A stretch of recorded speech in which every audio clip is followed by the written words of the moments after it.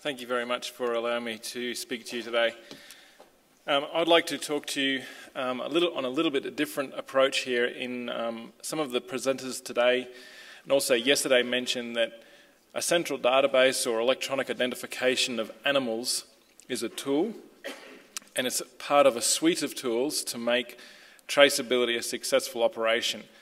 And what I would like to, to do today is perhaps take a small step backwards uh, away from central databases and just show how this data can be used rather than simply talk about data but actually give you a practical application. And I thought what I would do was actually take you through a disease outbreak that we have experienced in Victoria and you can join me as we attack this disease outbreak. So the, the slides I'm going to show you are from an actual disease outbreak and how we attacked it using the tools that we've built. What I will do is just start off with a very, very brief summary of the Australian system so you can understand how we can do what we're about to do together. But uh, we'll do this quickly so we can spend more time on the tools around uh, what can be done with electronic identification. So this is the Australian system. I won't, I won't read you the entire slide, but um, we started off in 1999 uh, and then um, mandatory um, situations started incurring in on 2002. We also, I, th- I, think this is a critical critical element of any form of system, is you really need to ensure that you understand why you are identifying your cattle or whatever species you are identifying. I think sometimes there is a risk that um, we can have industry sectors believing that the identification of animals um, are for a certain reason, and if you get them in all into one room, you'll find out that everybody's identifying the cattle for different reasons. So it's important that there is a cohesive um, decision on why, uh, in, in, Australia's situation, in what I have before you, as to why cattle uh, were identified, and these were the decisions that we unanimously agreed on. The foundation in, in Australia, and I would encourage this, this concept right across the board, the foundation for any, and I really emphasize this, for any identification system is about location. You can't move something from a person. Okay, when you, we need to think strategically, we need to think in the big picture. If you have a disease outbreak, you can't say that this animal has moved from Eric to Ken. Okay, we need to know the geographical location. If we think of the disease being, for example, an airborne contagion, so we know that these cattle, as they breathe, are transmitting that disease. Knowing who owned the animal does not help us. Does not help us at all. We need to know the geographic location of that animal so we can work out what animals are infected. So the property identification code system for us was paramount. And as you can see, I argue that it is the foundation of an identification system because, again, it's the purpose of identifying. We are identifying an animal from this location and it has gone to another location. I can't compete with India whatsoever when it comes to statistics, so um, yeah, I couldn't believe those figures. Uh, especially when he said the population of the farmers. Uh, he said 20 million farmers were in India. That's the population of my country, so that's impressive. So PICs are linked to geographical location. So I'm going to emphasize this a little bit. So you, as you can see here, this is a property identification code. There it is on just simply a PowerPoint, but you can see the satellite image of that same parcel of land there. The tags, when tags are issued, and I apologize to the non-Allflex tag entities up the back, please forgive me, it is an Allflex tag. We have many tag suppliers, and as soon as I put, I didn't know which one to choose, so I chose the one that I thought would cause Klaus the most angst. So,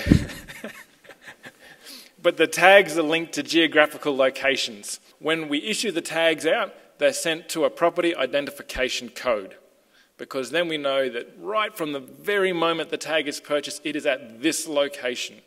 There's our current Victorian farms. Okay, so each purple dot, if you can count them while I've got this slide up, I'll give you a chocolate bar at the end. But um, these are the current pr property identification codes registered in Victoria. So if you own one animal or if you own 100,000 animals, you must have a property identification code. It's the law. If you do not have a property identification code, you cannot own livestock. And then with the movements, as has been uh, demonstrated by the presenters before me, probably far more adequately than I could do, um, with the, the way the movement of the cattle is when cattle move, they are moved from a location to another location. and they're all recorded on that central database um, down the bottom right corner there.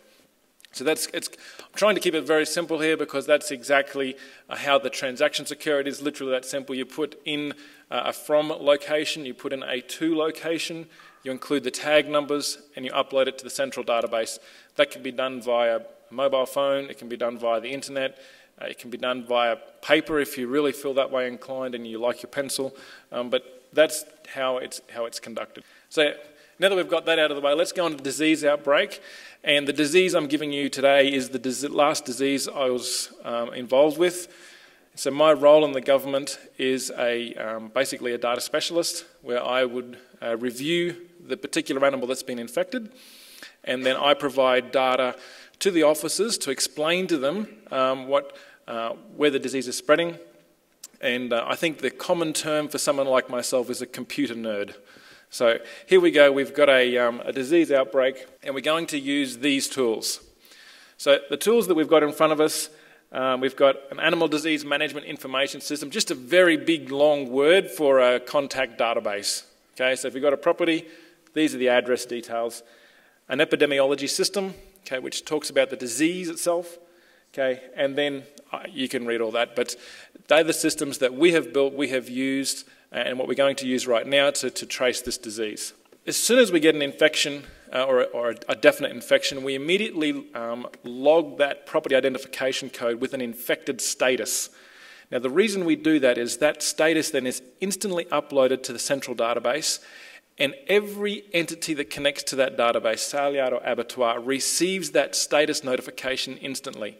So that way, if an infected property is still selling cattle or has sold cattle, those entities, especially abattoirs, it's critical, get that information so they can react quickly. It's, it's very, very disappointing and difficult for abattoirs to find out that an animal that they killed yesterday uh, needs to be quarantined it's too late. Then you're talking about massive cost on the abattoir, sometimes the trucking companies and shipping companies. What I do then is, based on that property identification code, I then ask the database to give me all the animals registered uh, to that property. So there's the registration, and you'll notice that little circle I've got there. Can you see the black circle? Because of the, the, the wind direction on this particular day, that is the circle based on the wind speed, and, and the wind speed on this particular day was 10 knots, in, in that circle would have been infected by this animal. So I need to know all the animals within that circle, where are they?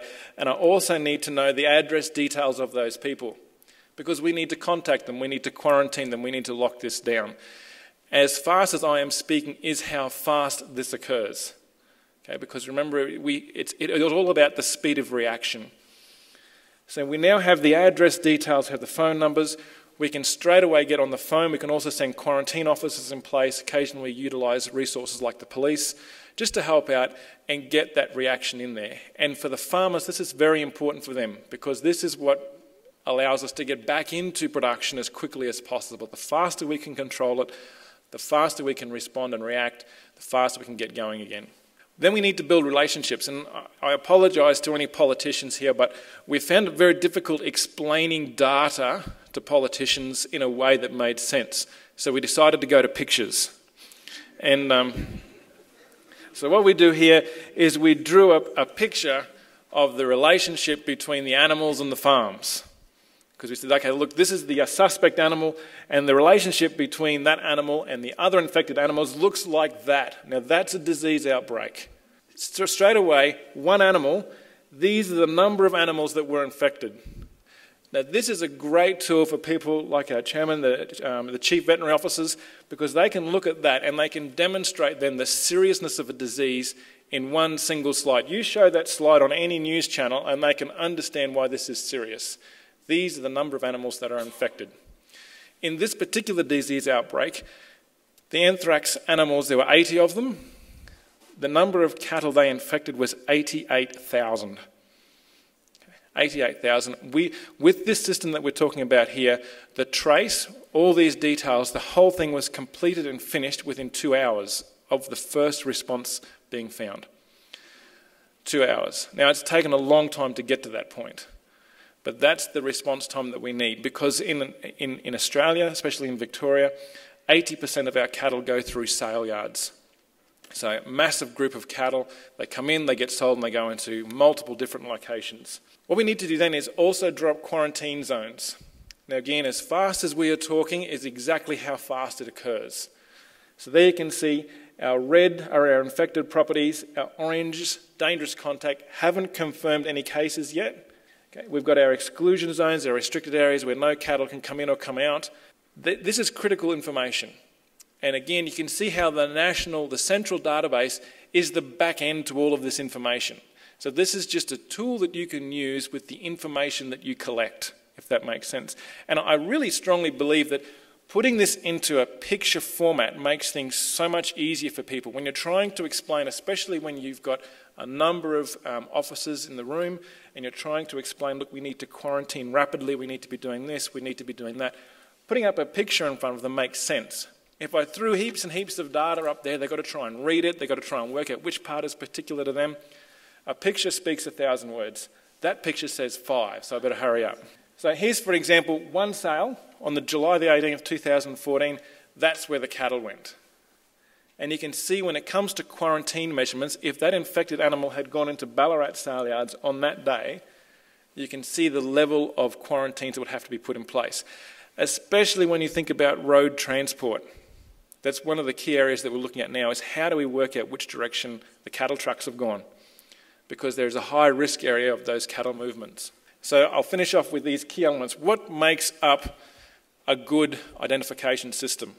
We do need a central database, absolutely. Now, again, I can't compete with you, but uh, on average, we do 120,000 cattle movements a day, uh, and 99.5% of these are electronic. Electronic, not visual. Now, you tell me whether that's one, two, three, or ABC. I, I, I deal with this constantly, constantly with people handwriting out the electronic RFID numbers. It's, it's a proven fact that 20% of visual transcriptions will be inaccurate. And, and it's been proven over and over again. Here's another example of these visual tags collected at an abattoir. If you can read them, you're better than I am. But you can see our concern with, um, with these type of devices and bearing in mind that the abattoir that's killing these sheep uh, are killing them one every three to four seconds. If you can read a tag one every three to four seconds again, you're an incredible person. You need to have minimum standards. Minimum standards are critical. Set a minimum standard and then stick to it. So, this discussion I think we've had today has been excellent. Appropriate equipment.